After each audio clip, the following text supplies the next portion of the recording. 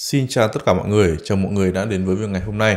Ok, như vậy là chúng ta đã bắt đầu sang tháng 6 và trong tháng 6 này mình cho rằng đây cũng là một tháng hết sức là quan trọng. Thứ nhất, đây chính là tháng đầu tiên sau cái sự kiện ETF Ethereum Spot chính thức được phê duyệt. Rất có thể là ETF của Ethereum sẽ được giao dịch vào thời điểm uh, trong tháng 6 này.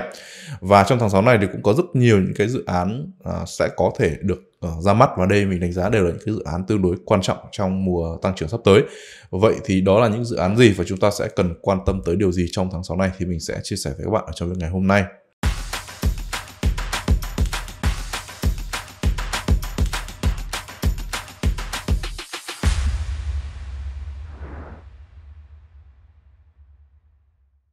Ok, trước khi tiếp tục với cả nội dung chính của video ngày hôm nay thì có khá nhiều bạn hỏi mình về những cái thông tin mới nhất của thị trường tiền mã hóa, về xu hướng của Bitcoin trong ngắn hạn cũng như những cái lệnh trade của mình hàng ngày. Thì mình sẽ cập nhật chi tiết cho mọi người những thông tin này trên nhóm Telegram miễn phí của anh Review Capital. Hy vọng là những thông tin mà mình chia sẻ sẽ có thể hỗ trợ và giúp ích cho mọi người trong cái quá trình đầu tư.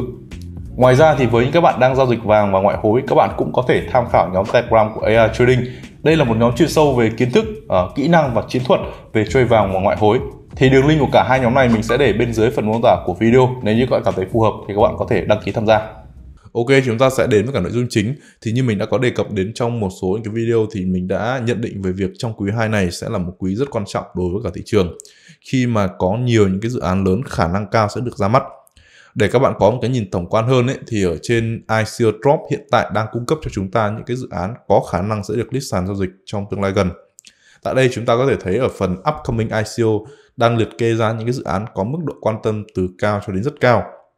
Khi mà kéo xuống dưới, hiện tại đang có hai dự án được đánh dấu sao vàng đó là GK Sinh và Starware. À, có lẽ là mình cũng không cần phải giới thiệu quá nhiều khi đây đều là những cái dự án top tier à, đang được nhận được sự chú ý rất nhiều đến từ cộng đồng crypto.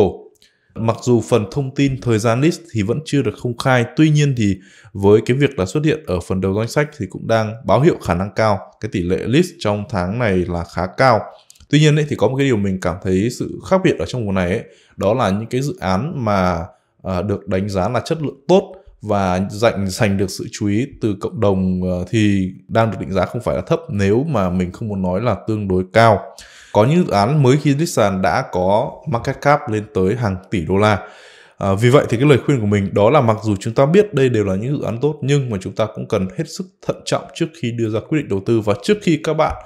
mua đầu tư cho cái dự án này trên sàn các bạn sẽ cần phải check xem vốn hóa của nó có thực sự phù hợp và tương xứng với dự án hay không trước khi mà chúng ta quyết định đầu tư được chưa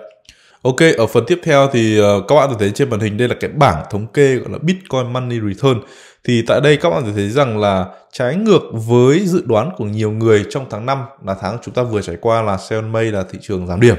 Thì các bạn thấy là tháng 5 vừa qua thị trường cũng lại tăng trưởng dương và dương 11,07%.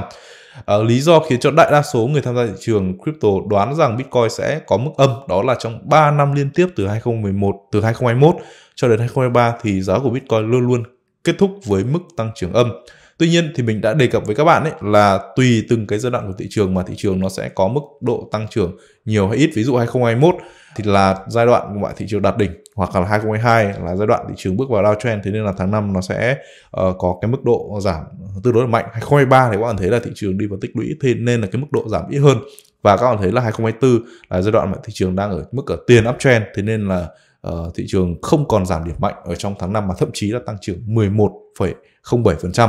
Ngoài ra thì các bạn có thể thấy rằng trong giai đoạn vừa rồi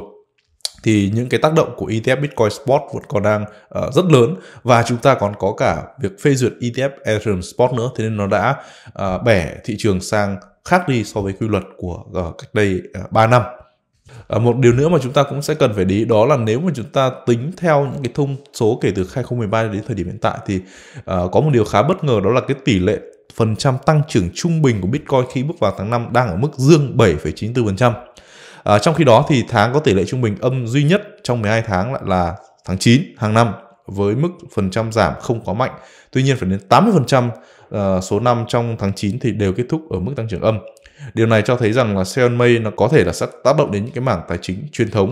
uh, và đối với cả thị trường crypto trong những cái giai đoạn mà thị trường khó khăn. Tuy nhiên trong năm nay thì mặc dù uh, là một năm mà kinh tế không quá tốt nhưng mà các bạn để thấy rằng là cái quy luật này nó đã không chính xác đối với cả thị trường crypto. À, nói thì nói vậy nhưng chúng ta cũng không nên quá chủ quan khi mà mỗi năm thì sẽ có ít nhất là 3 tháng Bitcoin sẽ kết thúc ở mức tăng trưởng âm. À, trong khi đó thì kể từ đầu năm 2024 đến giờ chúng ta chỉ có duy nhất tháng 4 là kết thúc ở mức tăng trưởng âm mà thôi. À, vậy nên chúng ta cũng có thể là nên chuẩn bị sẵn cái tâm lý là rất có thể là những cái tháng trong quý 2 còn lại hoặc là quý 3 sẽ có một vài tháng tăng trưởng âm và chưa thực sự là bùng nổ quá mạnh thì cái này là cái mà chúng ta cũng nên chuẩn bị trước tinh thần. Ok, thì sau khi mà kết thúc tháng 5 ở mức tăng trưởng dương à, thì các bạn thấy rằng là trong tháng 6 thị trường chưa thực sự có những cái biến động quá lớn.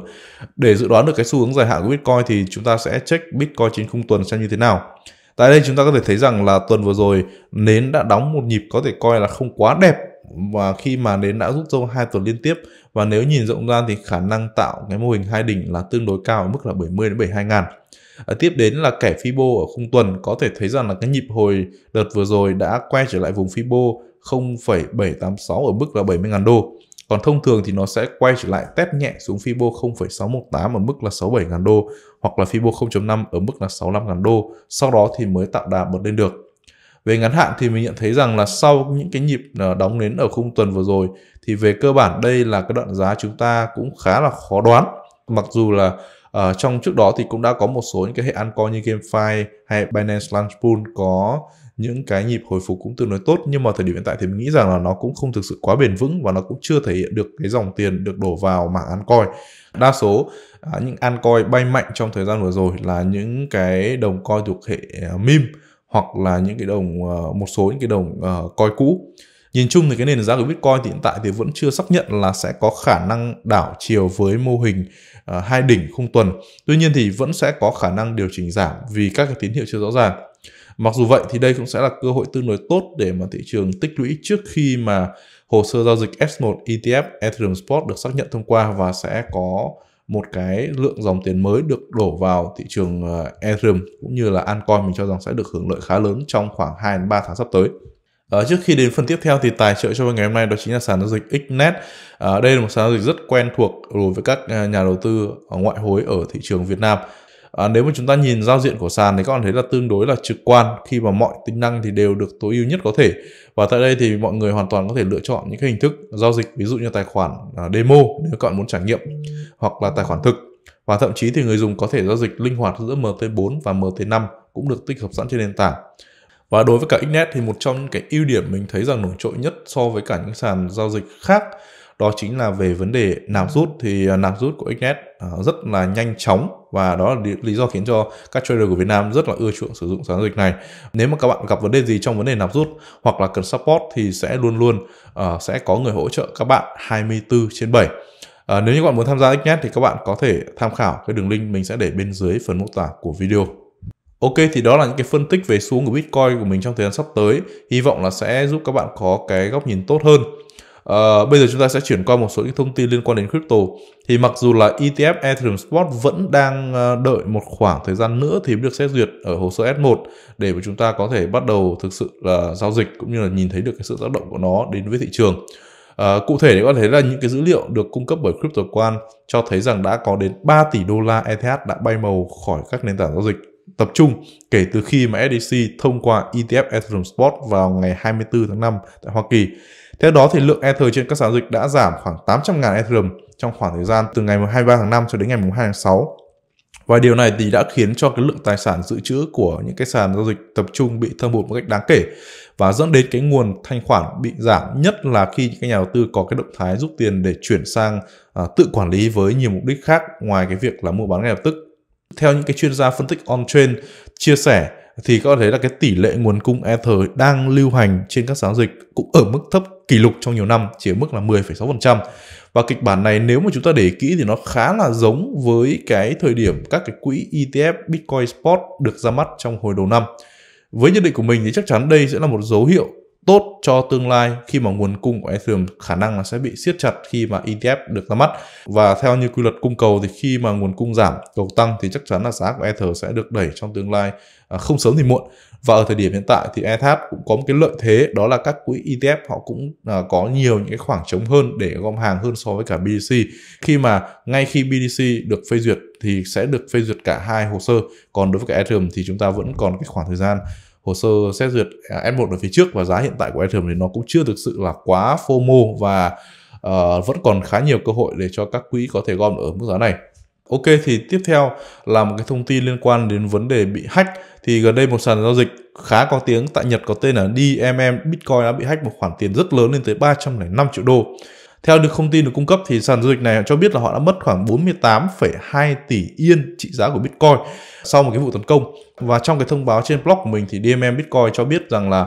4.502,9 Bitcoin đã bị kẻ tấn công rút khỏi sàn. Và sàn dịch này họ cũng đã tuyên bố rằng sẽ thực hiện những cái biện pháp bảo mật cần thiết để tránh việc hacker tiếp tục bòn rút và khẳng định là sẽ mua lại toàn bộ số Bitcoin bị mất để đảm bảo là tài sản của người dùng được an toàn. Các bạn thấy đây cũng là một trong những vụ tấn công lớn nhất trong năm 2024 và nó chỉ sau hai cái vụ tấn công đó là sàn MTGOX năm 2014 và sàn Coincheck vào năm 2018. Như vậy các bạn có thể là việc mà chúng ta để toàn bộ tài sản trên các sàn giao dịch thì nó cũng có những cái rủi ro. Thế nên là với những cái nhà đầu tư vốn lớn thì các bạn nên phân bổ tài sản của các bạn